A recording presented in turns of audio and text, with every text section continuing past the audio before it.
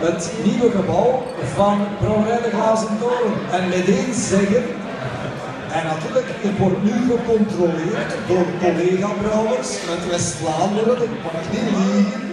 Meteen ook zeggen, hier wordt nu nog niet gebrouwen. Het gebouw hebben wij maar kunnen kopen in december en wij zijn al enorm content dat het is wat het nu is. Vraag, en wat doe je hier dan? Het bier wordt altijd gebrouwen in Meren. En ik heb niet graag dat je zegt Erpenmeren. Onthoud dat. Erpenmeren is een fusie. Meer is de hoofdstad. Oké? De brouwerij is in de hoofdstad van Erpenmeren. In de glazen torenweg genoemd naar een oerenkot. Ondinniken is trouwens genoemd naar een oer. En Jan de Lichte naar een dief. Dit is dus een proper bedrijf.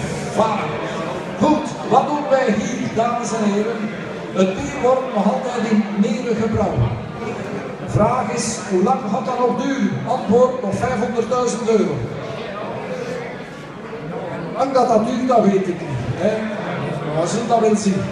Maar wij brengen de wort, de wort, voor sommige mensen Chinees.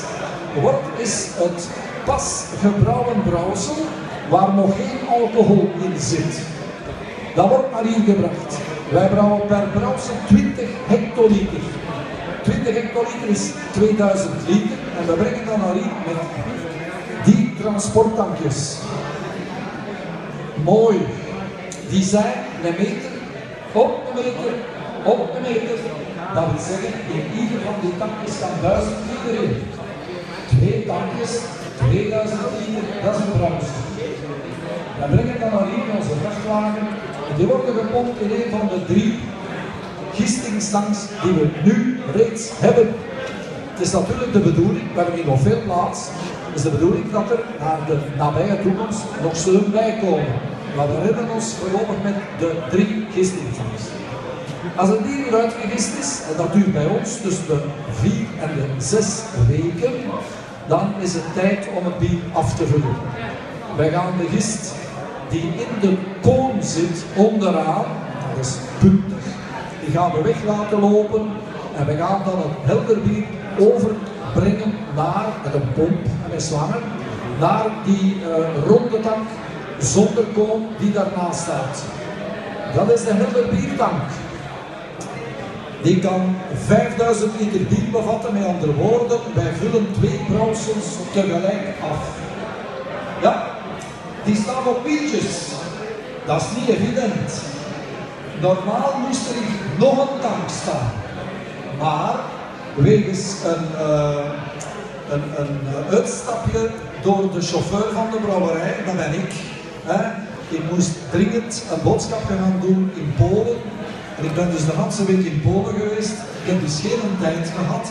Maar volgende week rijd ik naar Duitsland en staat daar nog een tankje bij trouwens. Ik nodig eigenlijk de mensen uit, als je ziet dat we hier nog bezig zijn, kom rustig binnenkijken. Ik denk dat er hier om de maand wel iets zal veranderen, want dit is pas het begin. Goed. In de hele biertank gaan wij gist toevoegen en suiker toevoegen en mengen. Mengen gebeurt door rond te pompen. Onderaan hebben wij een uitlaat, bovenaan een inlaat. En wij pompen dus het bier rond gedurende 20 tot 30 minuten om op die manier een mengsel te krijgen waarin suiker, gist en bier mooi opgelost zijn. En dan begint onze Italiaanse Duitser, of onze Duitse Italiaan, nog kiezen aan zijn job, namelijk het vullen van de flessen. De vulmachine staat daar in de hoek, is splinternieuw, er is nog maar vier keer mee gewerkt, dus hè, het blinkt nog. Maar het zal blijven blinken ook, want we hebben een goede keus um, de machine werkt zeer eenvoudig. Je plaatst op de ronde tafel flesjes. Die worden naar de vuller geleid. De vuller die draait. En na één rondje is de fles vol. Gaat gewoon verder naar de CO2-fles. Die blaast daar de lucht weg. Lucht is niet goed voor bier. Onmiddellijk daarop wordt die gecapsuleerd. Draait 90 graden naar rechts. Daar komt dan het etiket op de flesjes. En op het etiket wordt meteen ook de datum geprint. En het, de ondinnige die we vandaag niet verkopen, dat ga je kunnen aflezen, is afgerond op 2 november. Dat betekent vorige zaterdag hebben wij hier een ganse dag gewerkt om af te vullen. Wij kunnen dus niet liegen, de datum automatisch, zoals op uw gsm of smartphone, gaat onze eh, printer de datum van de dag zonder liegen overnemen en printen. We hebben daarvoor twee, uh, ja, ik heb ze al genoemd, slaven nodig. Het zijn weer blanke slaven, maar kom, slaaf 1 moet de flessen op de machine zetten, slaaf 2 moet de flessen wegnemen. En wij draaien aan 3000 flessen per uur.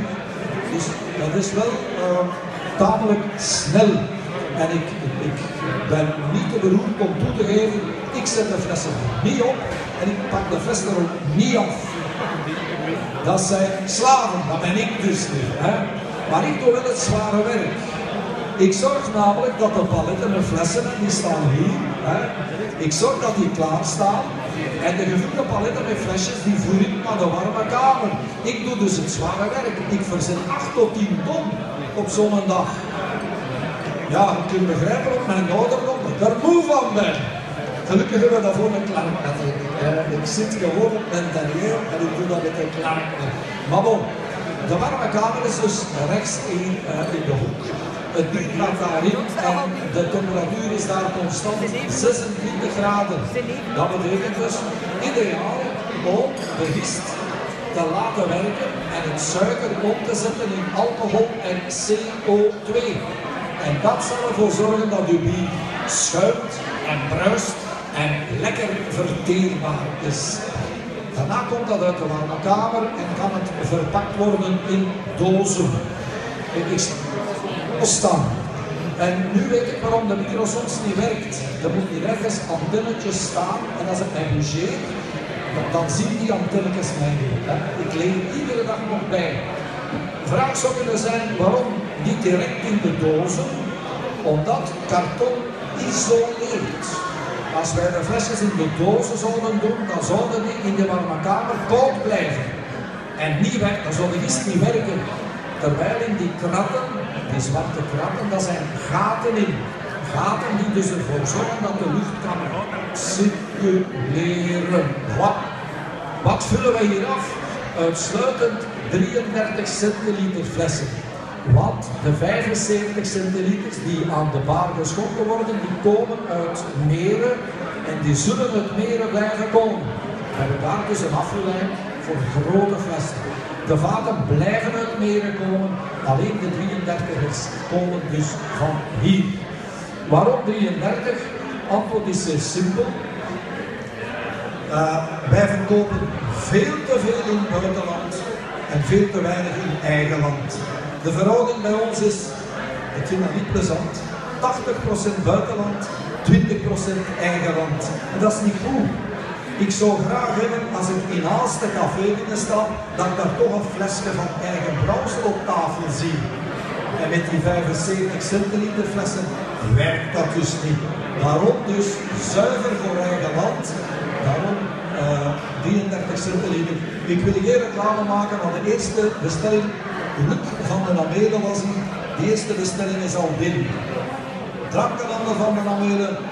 Allen daarheen. Alhoewel ik moet toegeven dat de bestellingen voor buitenland al lang al binnen zijn, want daar zitten ze te wachten. Goed, uh, wat presenteren wij vandaag een beetje in première? Wij presenteren vandaag in première ons ondinnige groene bel. Wat is groene bel? De groene bel is een oude Aalsterse hopsoort die in de jaren 30 van de vorige eeuw volledig, volledig verdwenen was volledig verdwenen, en nu spreek ik tegen de collega Brouwers, omdat hij zeer laag zit in alfazuur. Met andere woorden, bij de opkomst van de pils hadden de brouwers andere soorten hop nodig en de groene bel viel in onbruik. En wanneer een boer zijn, uh, zijn groene bellen kwijtgeraakt, dan stopte hij ermee. Groene bel was volledig verdwenen. Maar gelukkig, gelukkig zijn er in de wereld ook nog zotten and